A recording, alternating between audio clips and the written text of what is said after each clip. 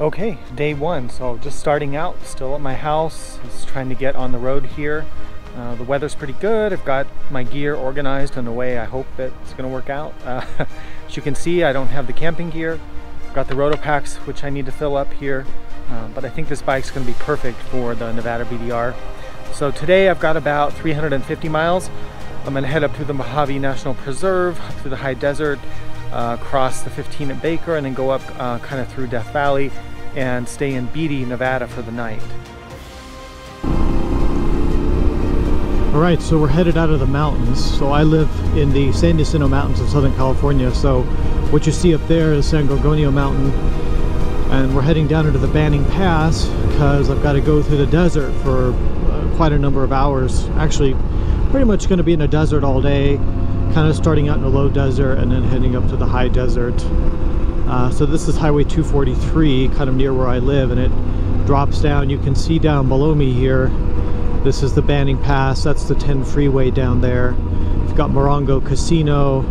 Uh, the Banning Pass carries a lot of uh, railroad traffic, a lot of commercial traffic.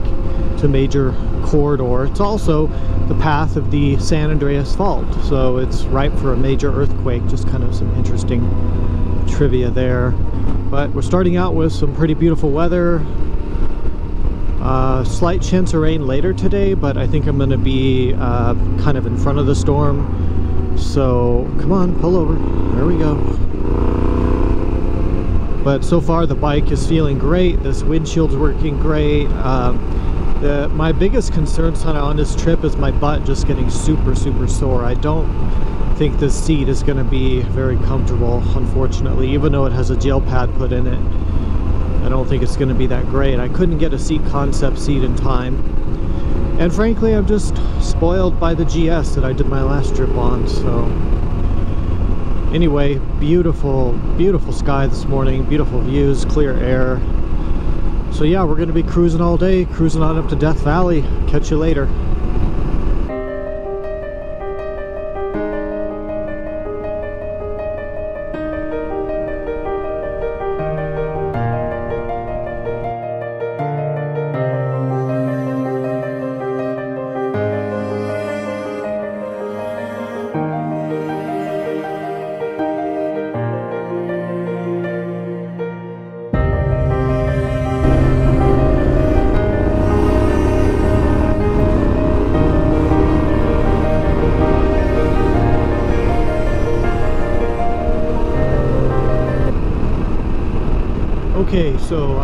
Halfway through the first day. I am in the Mojave National Preserve. You can see beautiful rock formations behind me.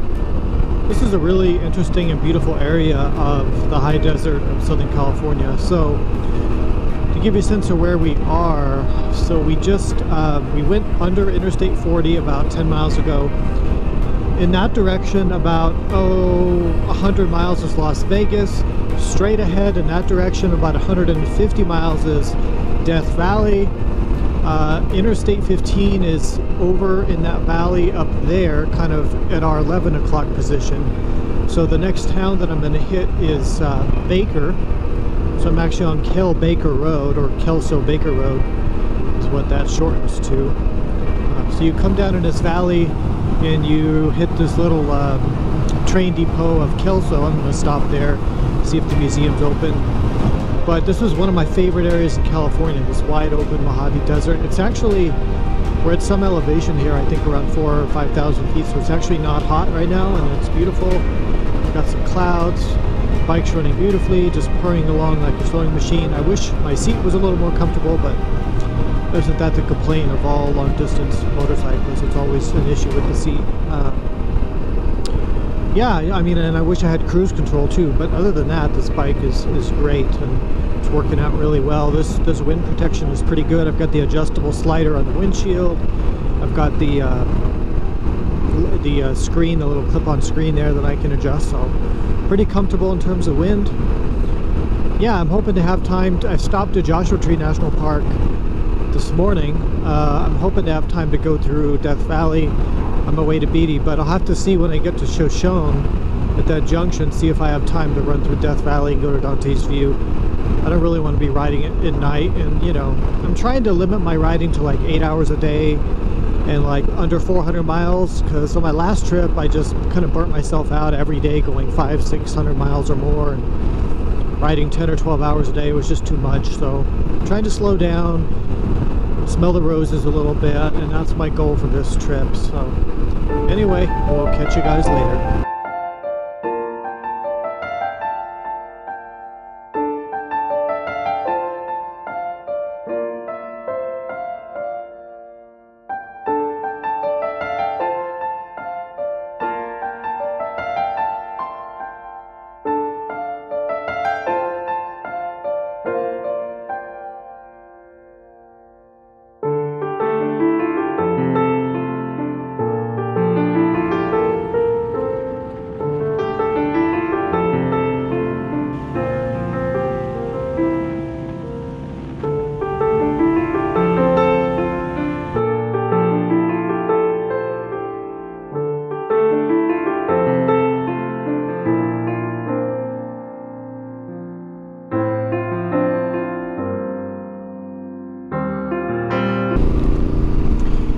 Okay, good morning on day two. There's the wild burros there. So I'm leaving Beatty, Nevada and I'm going the wrong way. So why am I going the wrong way? Well, here's what's happened and here's a lesson in flexibility for motorcycle traveling is that when I am looking at the weather forecast the next three or four days for Nevada where I'm going to be riding on the BDR, it's all rain. And I'm not comfortable riding in the rain off-road by myself in the middle of the mountains in Nevada with the mud and the snow and who knows what else I'm going to find. Uh, not only is it kind of uncomfortable to ride in the rain all day, um, but if it's colder and if you're by yourself and there's mud and terrain that you haven't been through before, that's just not a good situation. So what I'm going to do instead is, and I'm glad I brought my California maps with me and my Death Valley map, is I'm going to ride through Death Valley, go through Titus Canyon, go up through Eureka Valley, over to Lone Pine, maybe stay in Lone Pine tonight, uh, maybe go up in the White Mountains, and then tomorrow go through over North Pass into Saline Valley, through Death Valley again, and then head south through Death Valley where it's not raining, and it's going to be pleasant in the 80s, and then start heading south from there.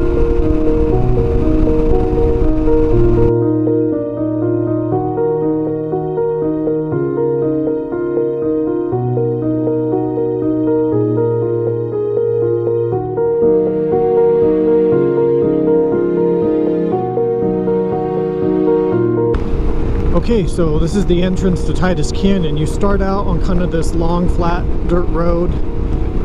Helps to carry a little bit of speed to get up on top of the washboards, but you cross this big desert valley. I think this is the south end of the Sarcobatus Plateau. And then we'll uh, wind through Titus Canyon and have a beautiful scenic ride. So come along for the ride and uh, yeah, it's going to be nice. Okay, here we go. This is kind of where it starts to get pretty. You can see the road wanders up through these beautiful, colorful canyons. My bike's finally getting some dirt on it. I gotta drop my tire pressure. It's just, I'm getting beat to hell on these washboards. And the bike just feels really harsh. I'm not sure why, but the suspension's just really beating me up. So anyway, yeah, it's gonna be beautiful. Let's keep going. Now it's getting a little more interesting. See, we drop into this canyon. You see how the terrain is, I would say it's definitely big bike friendly. I mean, there's there's going to be some sand towards the end going through the wash. We'll see how we deal with that because I'm not a very good rider in sand. But now look at this beautiful canyon we're going through. And uh, the bike's riding better with the tires. I put them about 26 PSI and it's riding quite a bit better now. It was just beating me to hell. But man, look at this scenery. It's just inc just incredible stuff. So right now it's uh, October 6th, I think is today's date. So If you came any earlier in the year, it might be a little bit too hot, but if you try to do it in winter, sometimes it's closed. So it's kind of tough, but I think October, November, good months, and then again, you've got a couple good months in the spring, but I've probably ridden through here five or six times, uh, but always in the winter. This is my first time coming through in the fall.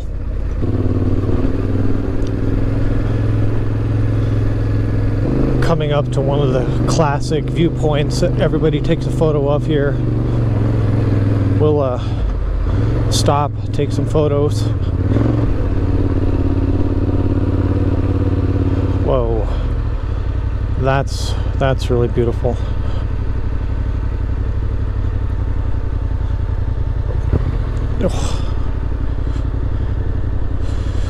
Park facing downhill. Kill the engine. Let the clutch out. You don't really want to go off the cliff here. Okay. Wow, that's really something.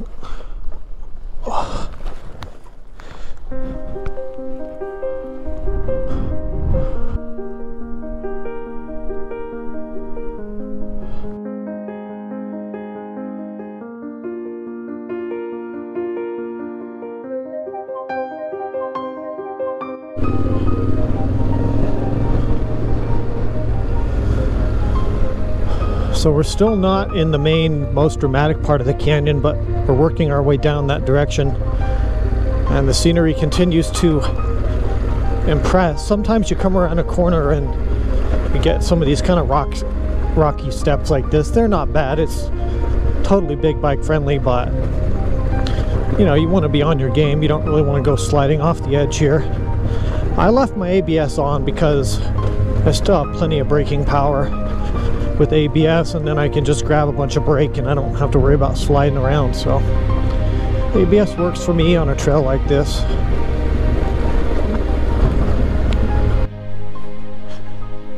So I've, I've arrived at Leadfield which is kind of your halfway point through Titus Canyon. Here's what the sign says. Can't believe there used to be a post office here. That's crazy.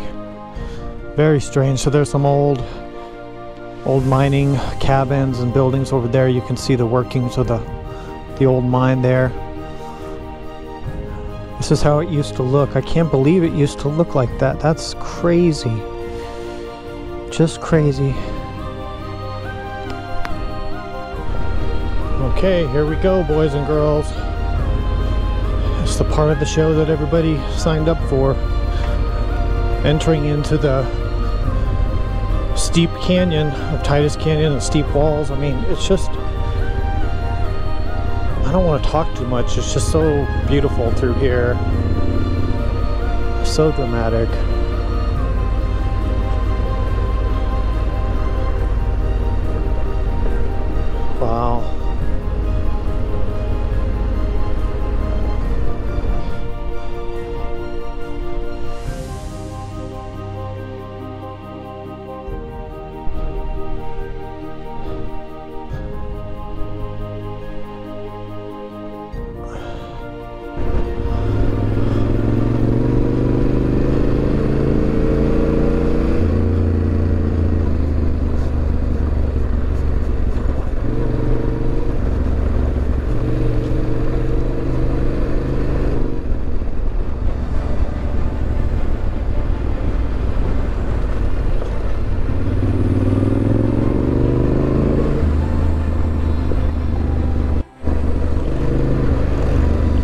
Okay, we're leaving the tighter part of the canyon, starting to get more into an open wash. I can't remember. I think the canyon gets tight, tight again down here, but can't really remember. Um, I think it does. I think that's the slot canyon part, but got to be a little careful because uh, the road can start to get a little sandy here. Oh yeah, you see down there, it gets it gets into the tight part of the canyon again. So anyway, uh, you just got to be careful. Sometimes there'll be some sand deep sand or deep gravel here and it'll want to grab your front wheel. So just be prepared for that. We've only seen two other vehicles this whole time so that's nice too. Of course it is Tuesday middle of the week so most people are at their are at work and I'm at work too. I'm making videos right? So yeah this is my office for the day. Okay, we're getting back into one of the slot canyons again. The trail's gotten pretty loose and sandy, so the bike wants to get into kind of a, a wobble, like a wave back and forth, and the way I'm dealing with it is just trying to let be loose, you know, loosen up the controls, just let it let it correct, let it wobble a bit, and don't fight it. Look at the look at the rocks, the geology. That's really impressive. I got to take another picture. Ooh. Well, yeah, this gravel's pretty deep. Shot.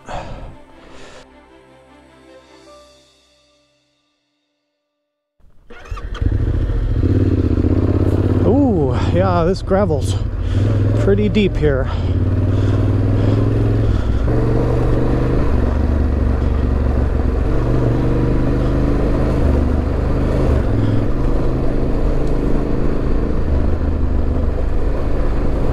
Wow. Look at how the rocks folded like that. It's so pretty.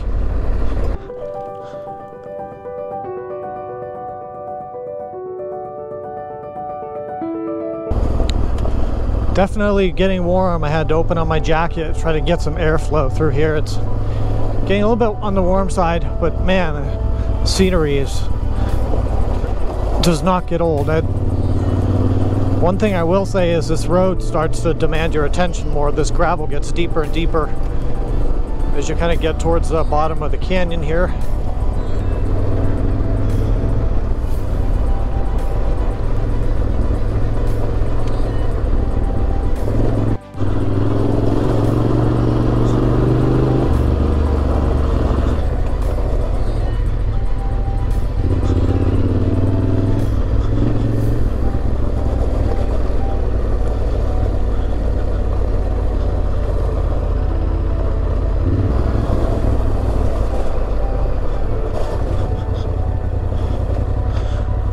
This is a very cool part of the canyon right here.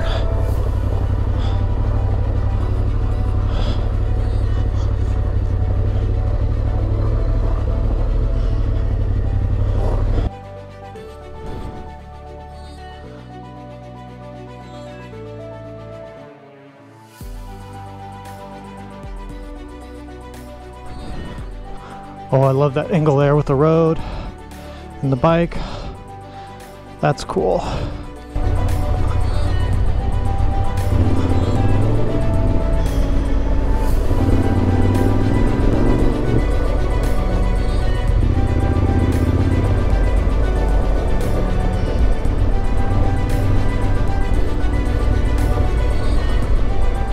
Uh, look at that, that's kind of a cool, it's not really a cave, but you know what I mean. That's pretty cool there.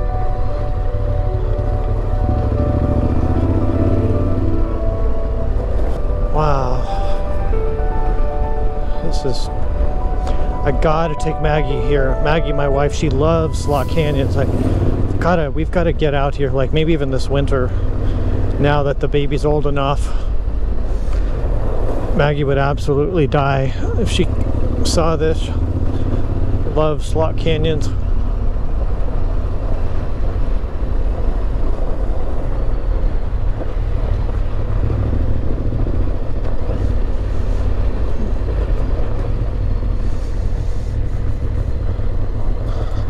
Those hikers mean that we must be near the uh, the end of the canyon where it dumps out. There's a trailhead, so if people with cars don't want to drive the whole way through, they can park at the start of the one-way part here, and they can hike up. Oh, this is crazy.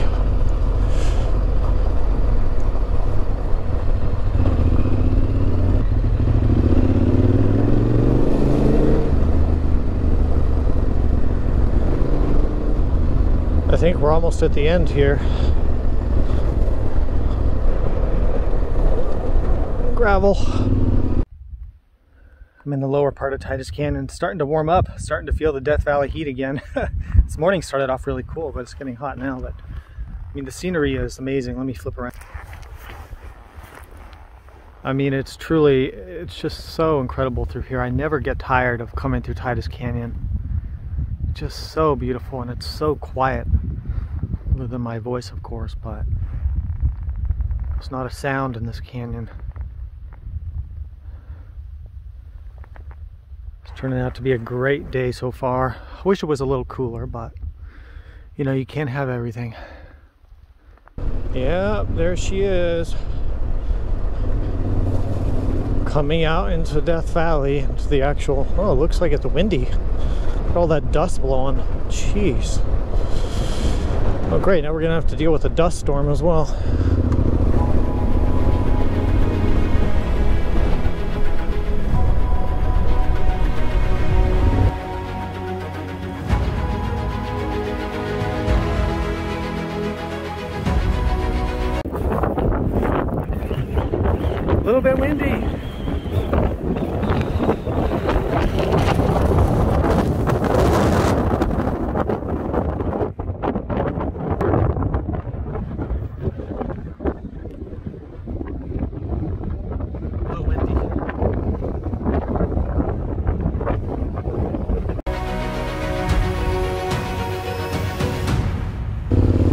Pençe.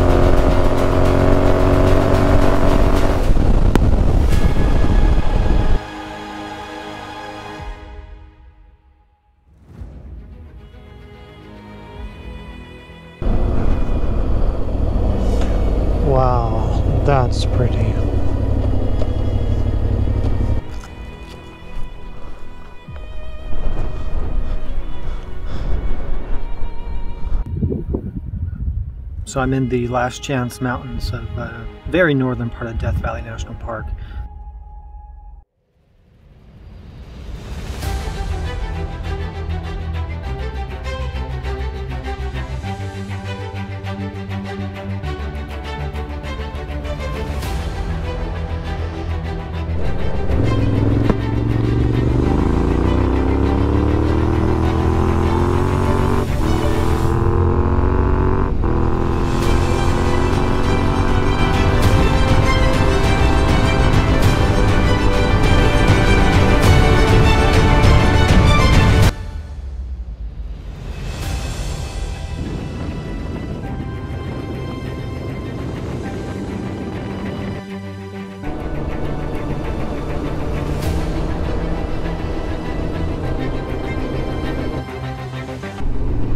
Okay, so I'm on Big Pine Death Valley Road, kind of in my last part of the second day of my trip, which all got changed, obviously.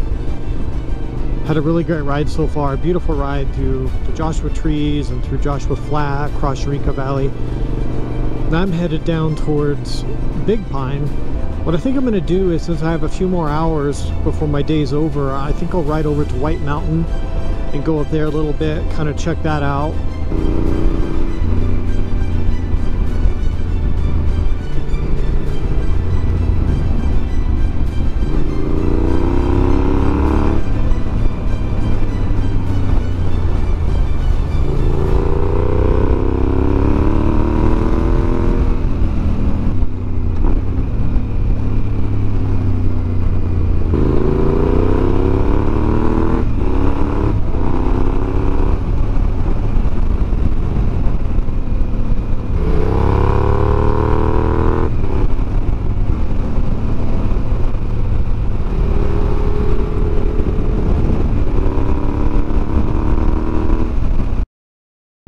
Okay, we're about to start uh, Waucoba Saline Road or North Pass down into Saline Valley and then over South Pass.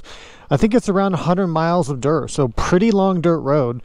You see the sign there says no services available.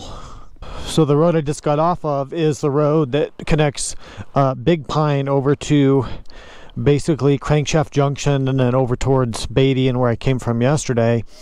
And this road, Saline Valley, goes south. So Got all our supplies, snacks, plenty of fluids, bike's in good shape. Let's get riding. I left my tires at around 25 psi yesterday, and uh, I didn't feel like airing down or airing up and then airing back down again, so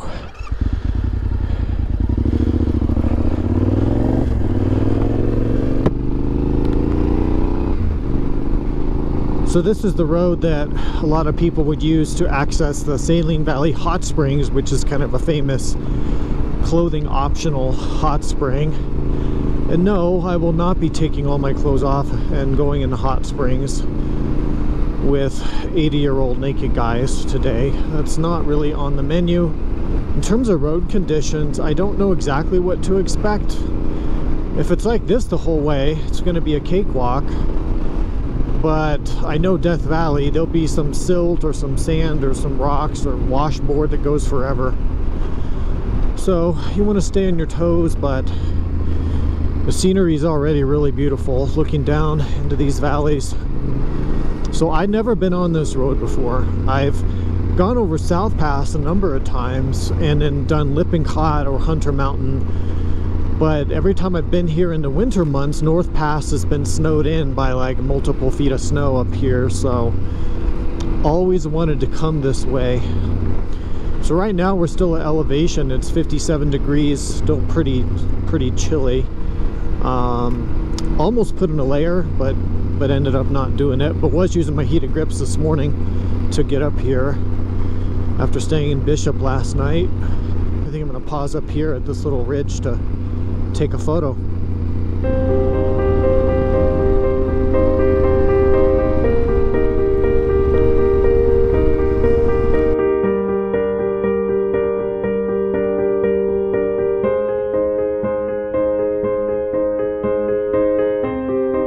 So I'm officially in National Park now, about 10 miles down this dirt road maybe.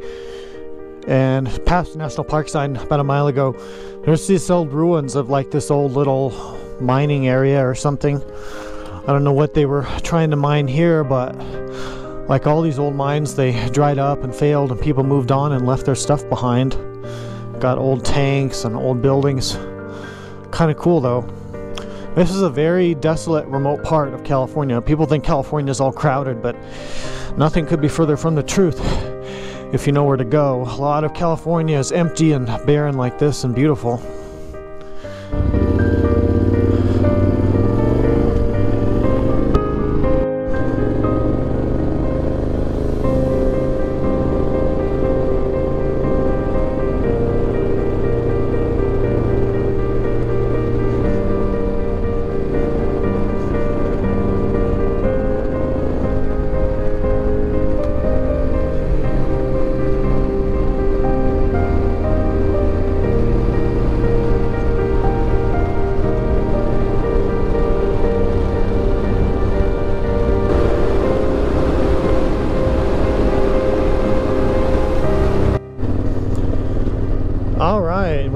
Dropped down out of North Pass and ahead of me there at my 11 o'clock that's Saline Valley uh, home of the famous Saline Hot Springs.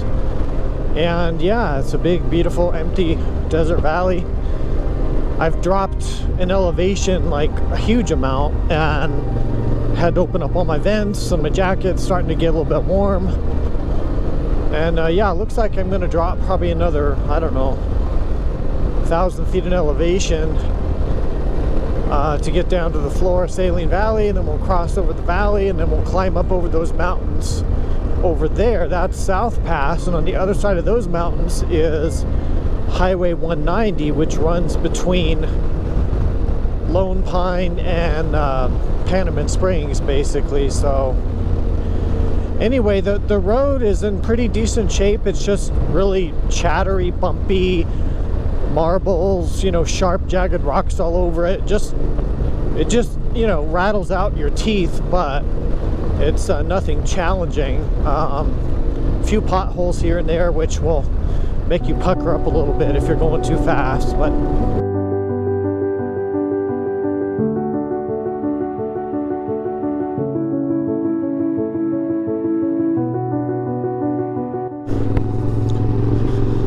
Okay, we're in the heart of Saline Valley now. and the washboards have gotten terrible on this road. It's just like you have to go about 45 to get on top of the washboards. Sand dunes over there are beautiful. I don't know if those are called the Saline Valley Dunes or what, but they're really pretty. Um, it's only supposed to be 92 today, so I was still willing to come this way, but uh, as warm as it is this early in the morning, it sure seems like it's going to be more than 91, but so I'm not really in the mood to really linger uh, in this valley while it gets hot. I would hate to have to change a tire out here in the blazing sun or do something like that. Anyway, um, got to remember to enjoy the scenery, look up at the beautiful mountains that ring this valley, the beautiful sand dunes, and enjoy the desolation and the solitude out here. Really is unmatched.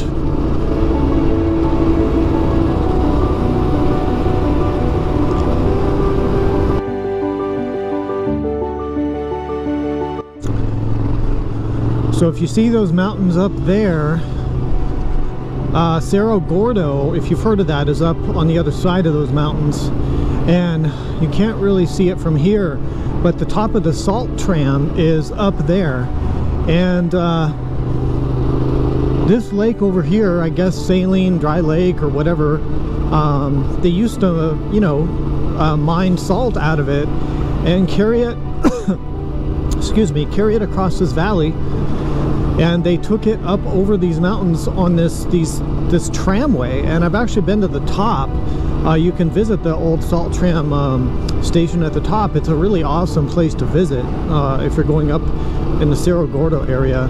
But I just can't believe that they that they went to the effort required to get salt way over here and move it up these mountains. And I'm talking about like a long time ago they were able to do that and then they shipped it you know I don't know either to LA or San Francisco or something but it was a major commodity. Um, it still is but they have you know easier ways of getting it nowadays.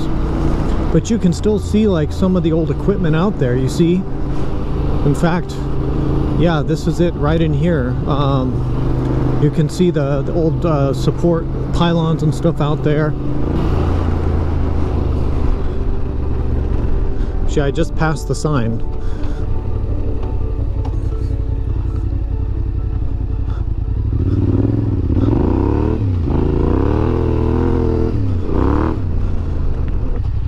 Here it is. Bringing salt to the table. See, I'm telling you, I wasn't lying. So it says, designed to be the steepest tramway in the U.S. and recognized as an engineering marvel, the Saline Valley Salt Tram ascends 7,600 feet up the eastern slope of the Inyo Mountains that would be those beautiful mountains right there. And it descends 5,100 feet to the Owens Valley on the other side. White Smith, an attorney and bishop, and his brothers decided to build the 13.4 mile tramway to ship the unusually pure salt from Saline Valley to California markets. Look at that photo. That's incredible. It says they delivered more than 20 tons of salt per day to rail cars in Owens Valley. That's insane. Construction began in 1911, requiring over a million board feet of timber for tower construction and 53 mile of cable. Horses and mules hauled wagon loads of equipment and supplies up the rugged slopes. In July 1913, the first load of salt was delivered to a railroad terminal near Keeler, California. The operation of the tramway was a brief success, but financial and legal problems forced it to change hands several times. Operations ended by 1930. You can see a photo there of them hauling the salt up. Just really an incredible thing. So I'm riding through this like alluvial fan kind of a deal. Riding's definitely getting more more interesting with all these rocks embedded here. Really deep gravel, deep sand patches. So really keeps you on your toes. Okay, they're gonna have to find a pace that's comfortable for you. If you go too slow, you kind of dig into the sand. If you go too fast, you start smashing into rocks and stuff and bad things start to happen and bad noises start to happen so I'm going about 30 miles an hour. That seems to do the trick and uh, this is a kind of thing where you do kind of want to stand up and you know have a little bit better control of the bike. Well my goal is to just get through this valley get out of here before it gets too hot gonna get back up towards the highway and take a break, have a drink, have some snacks when it gets a little bit cooler up there.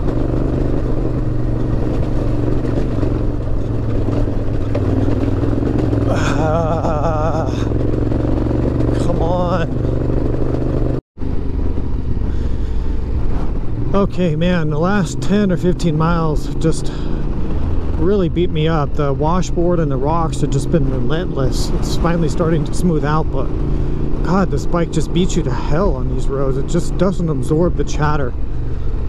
My hands are like turning to jello. They're like numb from all the vibration, but, but we are gaining elevation and it's finally cooling down, so I don't feel like I'm roasting to death while being vibrated to death at the same time. But let's get up to the top of South Pass and I'm going to take a break up there and maybe my bones won't be liquefied by then.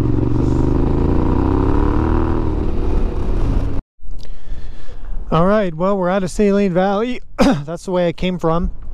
This is a little junction between Saline Valley, Hunter Mountain, and uh, South Pass, or which goes over to Highway 190. So down there are the Panamint uh, dunes and Panamint Valley and uh, yeah so that's where i'm headed next so got to get over this little bit of pass here but i probably only got 10 15 miles of dirt left um, go through Lee Flat and then we'll be back to some pavement which i'm not going to complain about after i just feel like my bones have been rattled to death